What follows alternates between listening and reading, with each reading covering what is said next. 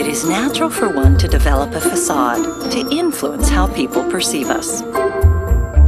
Some project an image of perfection to mask their basic insecurities. Others don't have the luxury of worrying about first impressions. And some people find their best intentions often backfire. Yes, we all veil our truths, but how we leave an impression is what defines us.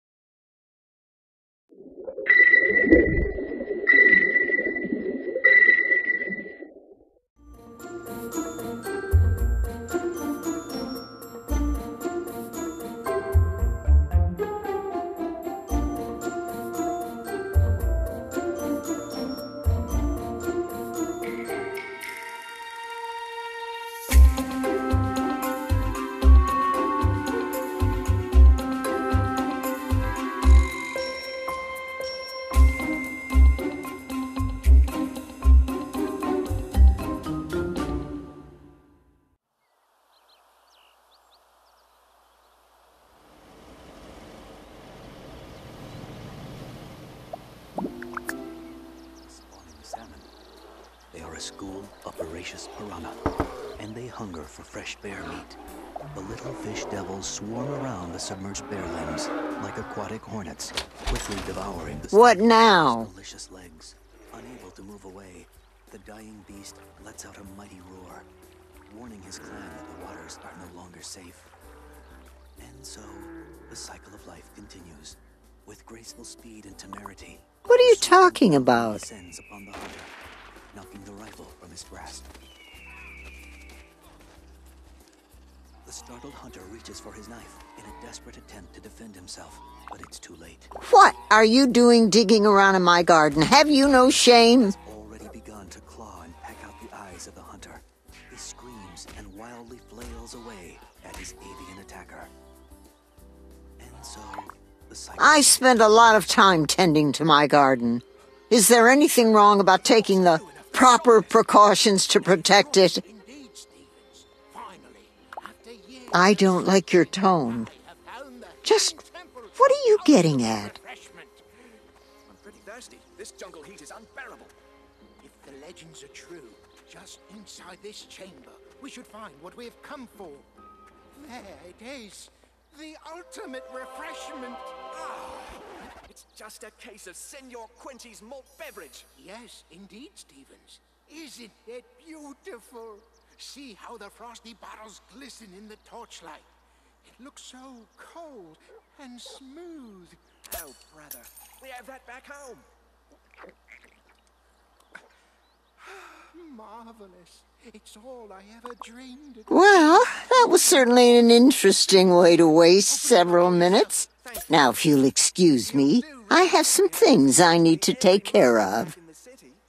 We didn't need to come all the way down here to have a cold bottle of Senor Quenty's. Indeed, young Stevens. But sometimes in life, it's better to seek out adventure and risk life and Well, I could protest, but why bother?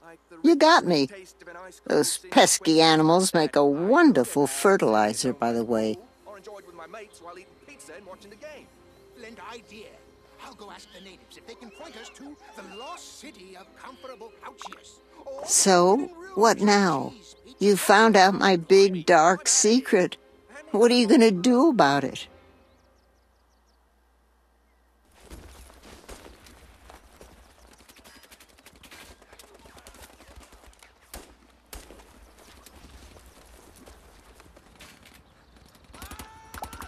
Oh no, please don't. At my age, I wouldn't survive jail for any length of time. Besides that, I feel terrible about what I did to those poor animals. I hardly sleep at night.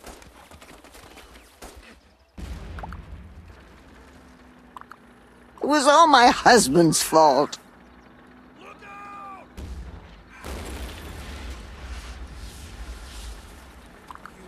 Well, he didn't literally force me to do it, but it's complicated, so let me explain.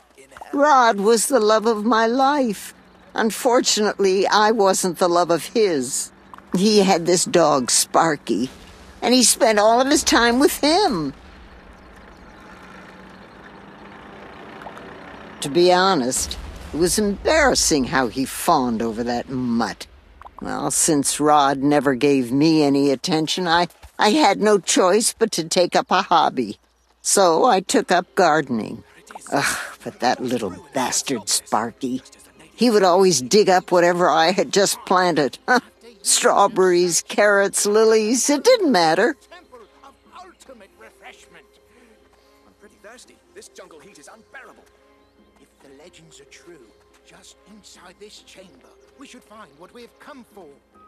There it is. Well, instead of punishing his little mutt for his little forays into my garden, Rod would encourage it. So one day, I decided to teach that mutt a lesson. I put a little rat poison near the rose garden. I didn't think it'd be enough to kill him. I was just trying to get him sick, so he wouldn't go near it anymore. Marvelous. It's all I dreamed it would be, and more. Stevens, here. Open one up for yourself. Thank you, sir. Of course, Rod didn't know I had accidentally killed Sparky. I, I wasn't sure what to do with the body, so I buried it in my garden. Once Rod noticed Sparky was gone, I planted the seed, so to speak, uh, that the dog had run off. Rod was depressed for weeks. I think he thought I might have done something because he was very standoffish. Shortly after that, Rod left me for that other woman. From that point on, my garden is all I have left. Only the next time an animal tried to ruin my garden, I was ready.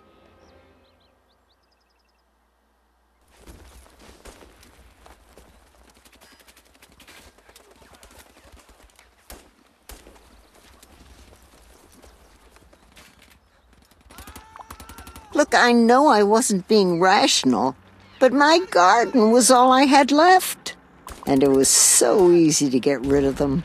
Another lost pet. Big deal. No one takes any notice.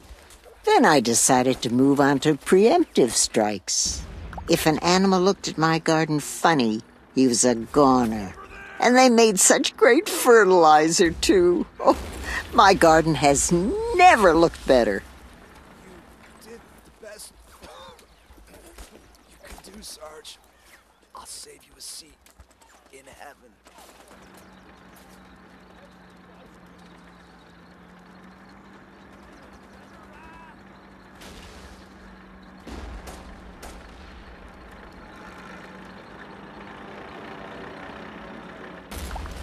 I don't know. I think I'm too old to change.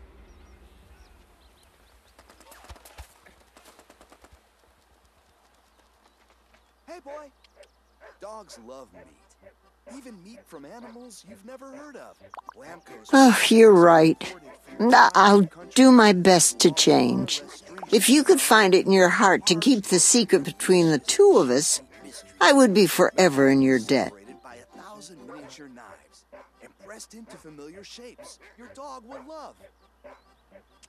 Hey, boy. Come on. Make it Blamco. Oh, thank you.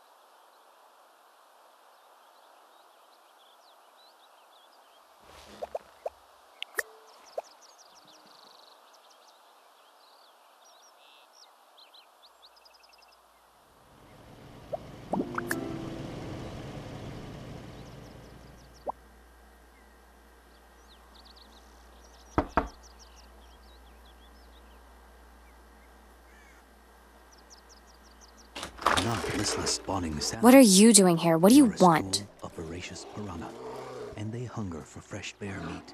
The little fish devils swarm around the Sorry isn't cutting it. like What I need is someone to stop whoever's doing this. Bear's delicious legs. Unable to move away, the dying beast lets out a mighty roar, warning his clan that the waters are no longer safe. And so, the cycle of life continues.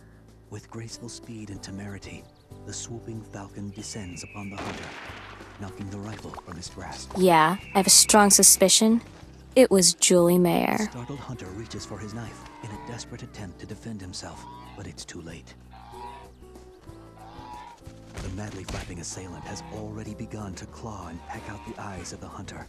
He screams and wildly flails away at his avian attacker. So, Like I know what's going on in that little nerdy brain of hers. Boy. She's probably still pissed that your son stood her up. For me. From animals you've never heard of. Lambco's meat snacks are imported from a variety of countries, with laws far less stringent than our own. Barge loads of. Yeah? I heard that she was calling all the guys at school and telling them I slept with your son. So it's definitely her. Who else could it be? Dog would love. It certainly wasn't your son. Not that I wouldn't have minded, but he never got anywhere with me. My mom made sure of that. I'm still pretty pissed off at your son, though.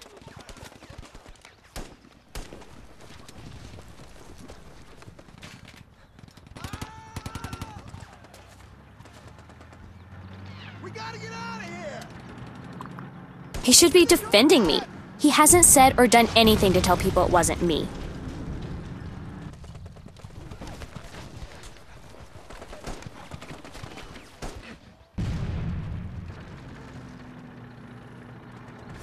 Over there! Look out! You did the best. All I'm saying is that if he'd defend me, then everyone would know he was innocent. I'll save you a seat in heaven.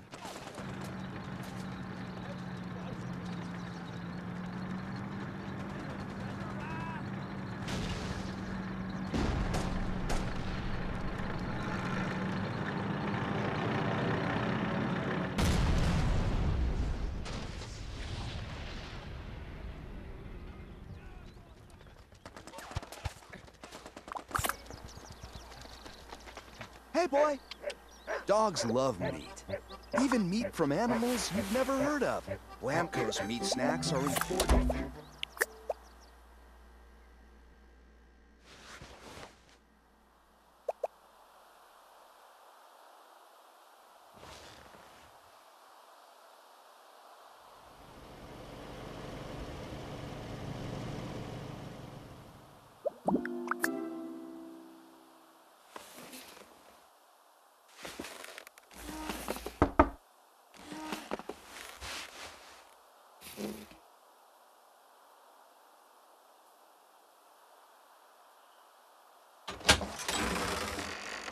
Oh, it's you.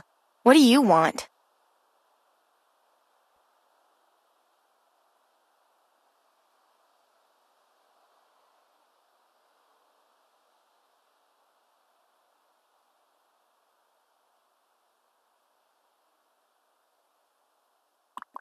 Come on. Isn't it obvious? It's your son.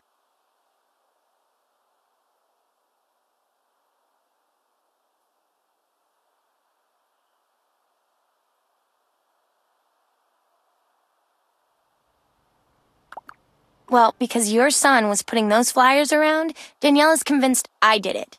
And now she hates me. So now she's spreading that around school. Everyone thinks I'm some kind of psychotic skank. The worst thing is that even though I didn't do it, I've been ripping down the flyers whenever I see them. I still feel bad for Danielle, even if she's gone all psycho on me.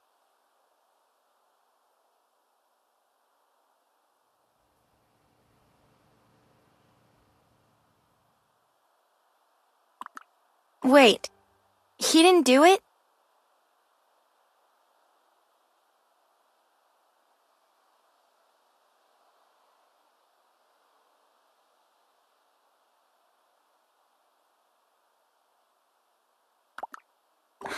What?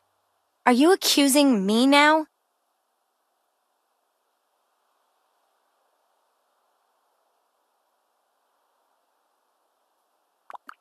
Well, for your information, I'm innocent. And if you think I would actually be capable of something like that, then I'm done talking with you.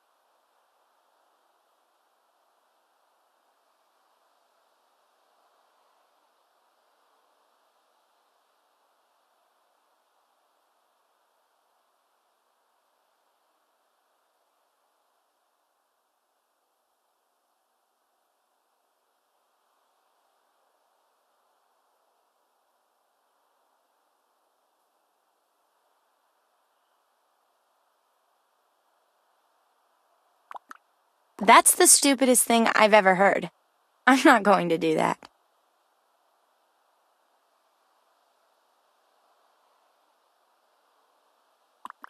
Listen, Miss Detective Housewife, I'm not in the mood for your little games. Are you done yet?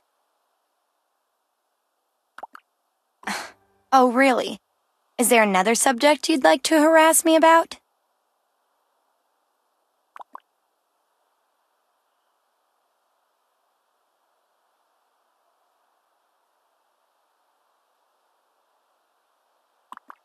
I really didn't know Mr. Fox all that well.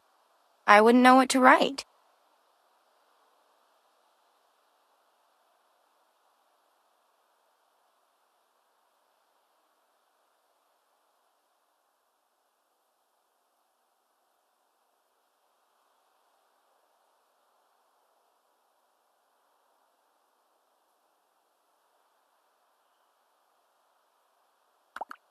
That doesn't make sense.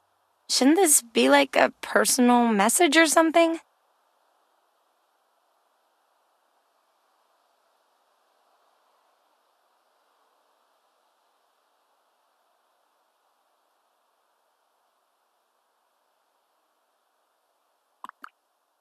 Sounds a little weird to me, but okay. What should I write?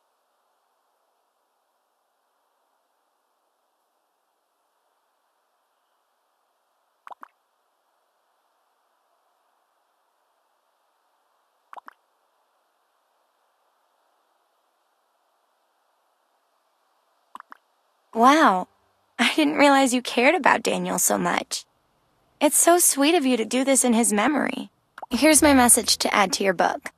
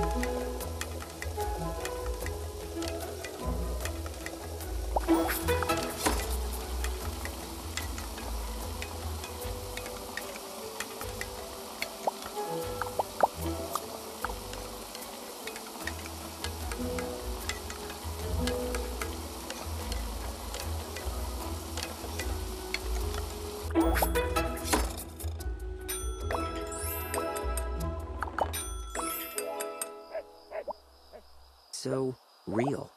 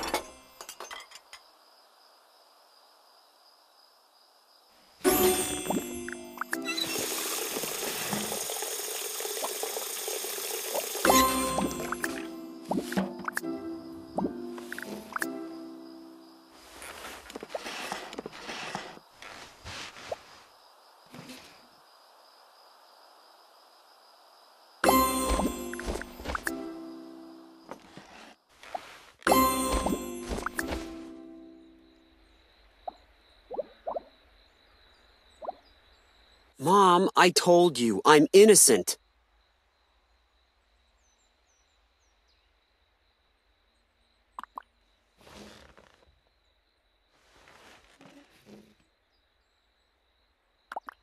Well, Tabitha made me tell her my password while we were, uh, dating. You think she did this?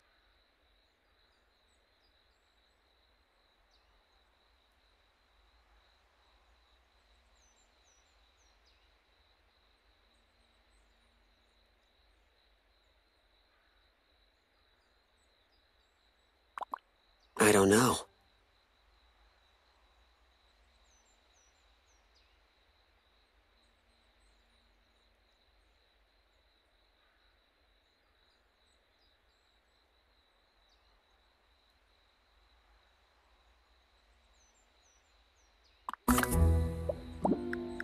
Mom, I told you, I'm innocent. And now you believe I didn't write it?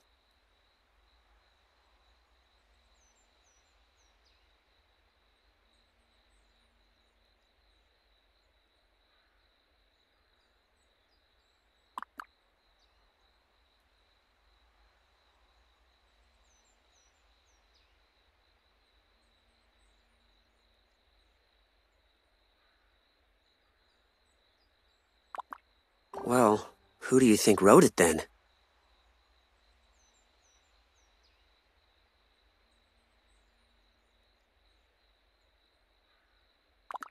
Sure, Mom.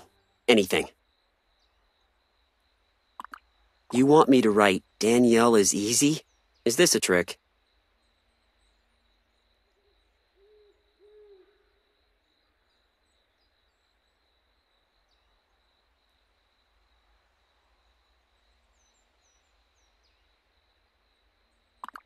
All right. If you think it's best, here you go.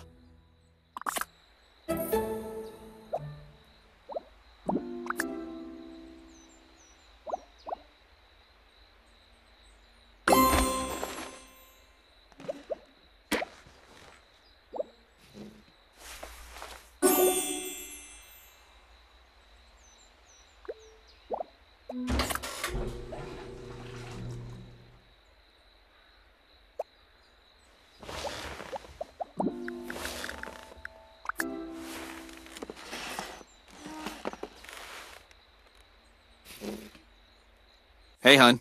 You've got that look on your face. Tell me, what's on your mind?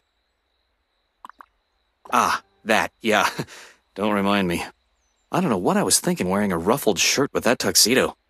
It's hard to believe that was in. Now, you, on the other hand, haven't changed a bit since the day we walked down the aisle. I'm just being truthful. Can I help it if you're still the reason I get up in the morning, honey?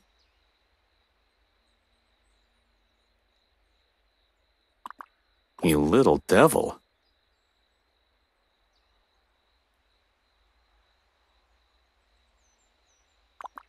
What do you say we take this conversation upstairs? In memory of our wedding night, of course.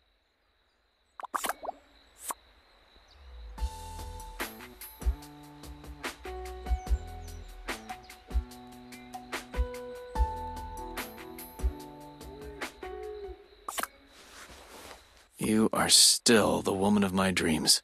That was fantastic. I'm still trembling.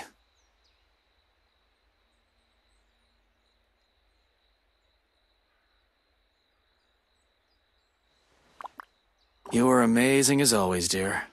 I still can't believe how beautiful you are. It gets better every time.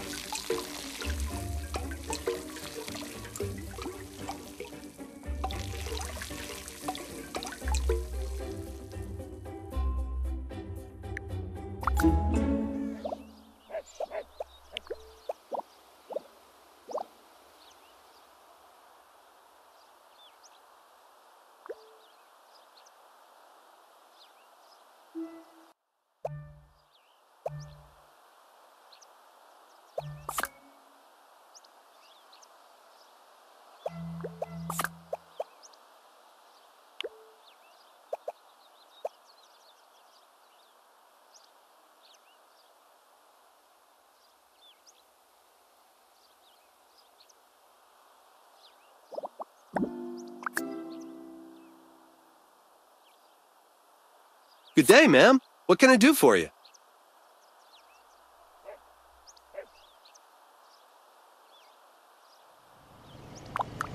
Really? Well, uh, I'm on duty and, uh...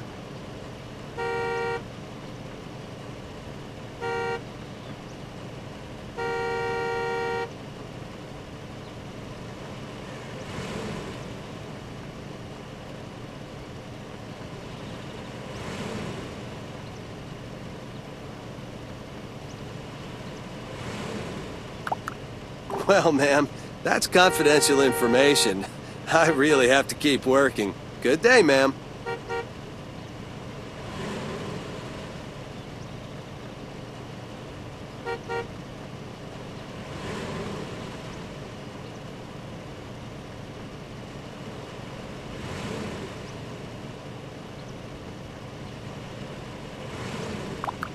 Okay, okay. Maybe I can help you out, but I'm gonna need an incentive.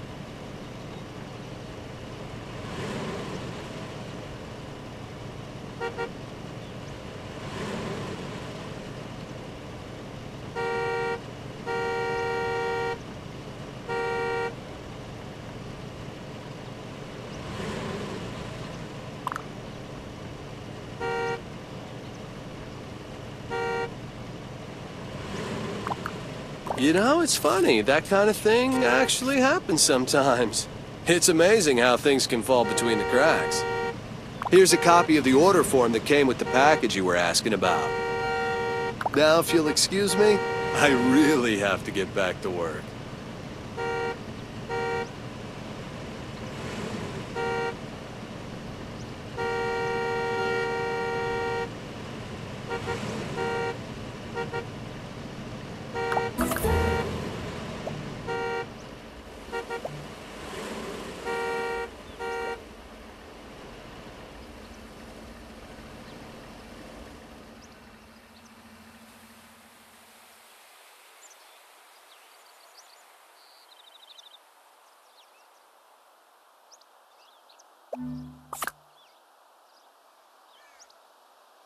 Yeah? What do you want?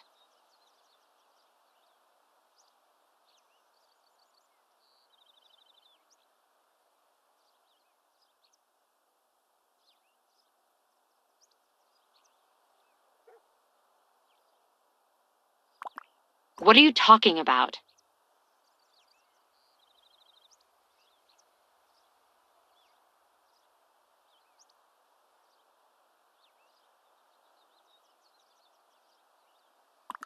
You can't be serious.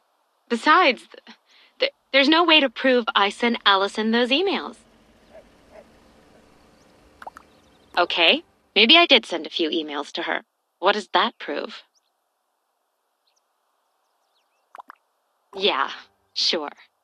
You're a regular detective, aren't you? A little old to be sneaking around the neighborhood poking into people's mailboxes, aren't you?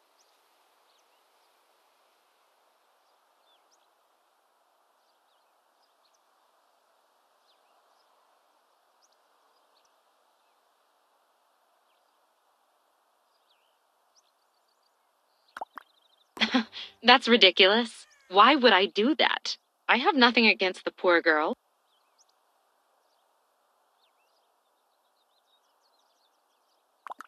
That's an interesting theory. But how do you prove that I wrote the message? It's not like there was a signature on it or anything.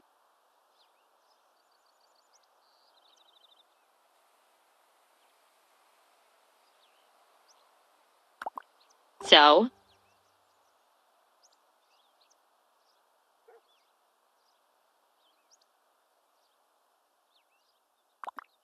So, what exactly are you going to do about it?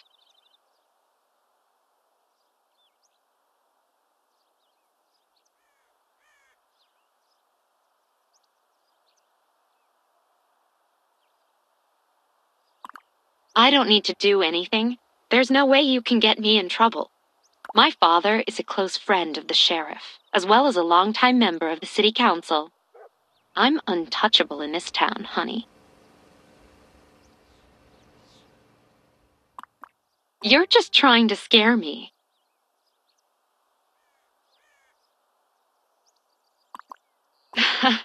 I don't believe you.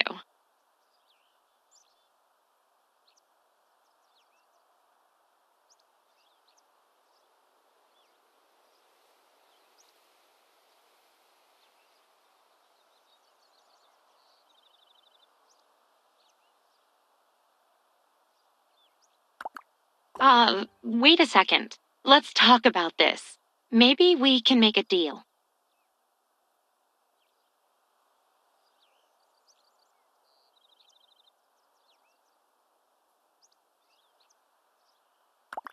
Wait, please, show some mercy.